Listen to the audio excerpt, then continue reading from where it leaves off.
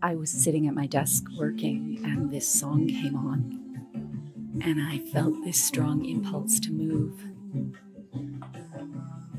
I haven't moved like this in a while. And it was like my body was bleeding. This is listening to your intuition. This is listening to what calls to you without judgment, without pretense, without expectation.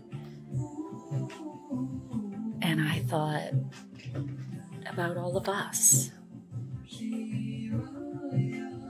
and the ways we can listen in and follow the impulses in us to dance,